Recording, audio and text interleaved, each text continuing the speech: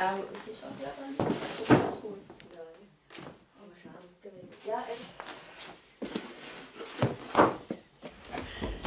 Ich war äh, Fotograf, Pressefotograf und äh, tätig bei einer Basler Tag National Tageszeitung, die zweimal im Tag herauskam, ein Morgen- und Abendblatt, die Nationalzeitung. Und dort leitete ich die Bildredaktion und äh, ich hatte die wunderbare Aufgabe, aus einer Tageszeitung eine Tagesillustrierte zu machen. Äh, was mir natürlich sehr viel Feindschaft der Phileinser eingebracht hat, den ich ja Platz weggenommen habe für den heiligen äh, Text. Also, äh, damals 1970 gab es eine Rubrik in dieser Tageszeitung, die hieß Zu Gast in Basel.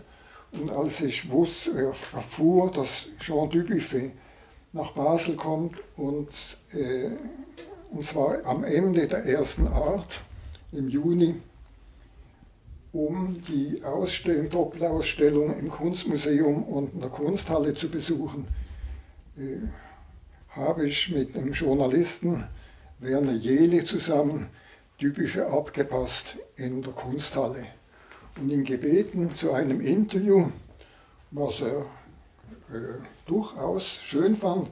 Und ich habe eine Serie Fotografien gemacht, die er selber sehen wollte.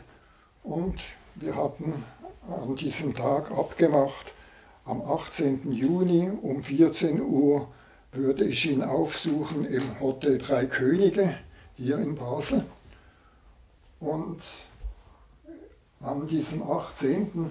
erschien dann auch diese Rubrik zu Gast in Basel mit einer Fotografie von mir. Hier haben wir die Publikation von 18. Juni 1970. Am 18. Juni 1970 war meine hochschwangere Gattin zu Besuch bei ihrem äh, bei, meinem, bei meinem Gynäkologen, ja, genau. Beim Gynäkologen.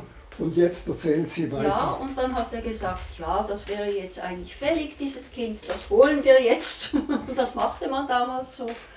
Und äh, ja, und dann bin ich in die Klinik gegangen, ich, da, ich denke um elf ungefähr. Und ja, und dann äh, wusste ich, mein lieber Mann hat um zwei ein Rendezvous mit Jean Dubuffet und das war ihm ungeheuer wichtig. Und deswegen dachte ich, ich muss unbedingt dieses Baby vorher auf die Welt bringen. Und das hat auch geklappt. Es ist, dann hat er, haben wir also eine Tochter bekommen und er konnte dann um zwei zu Dubuffet gehen und den, den, die Fortsetzung kannst du ja dann erzählen. Also, äh, ich kam zu Dubuffet, zeigte ihm die Serie meiner Aufnahmen. Hier haben wir einige, die damals Dubuffet angeschaut hat. Hier noch das, das sind die Kontaktkopien. Und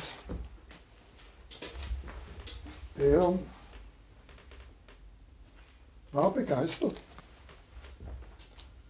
Und das war der Anfang einer wunderschönen Zusammenarbeit, die bis zu seinem Hinschied in den, also 1985 ist er gestorben, bis dann dauerte.